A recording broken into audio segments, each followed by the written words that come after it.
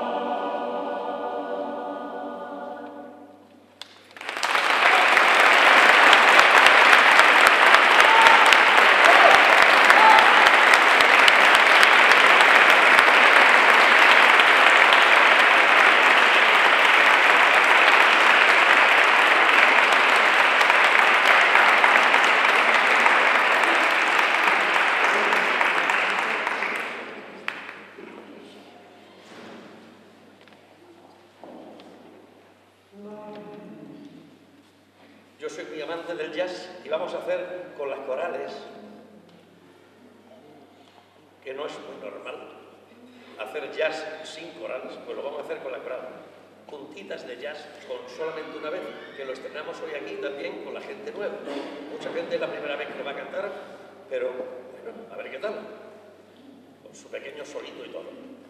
Bolero, jazz, solamente el bolero. Solamente. Solamente.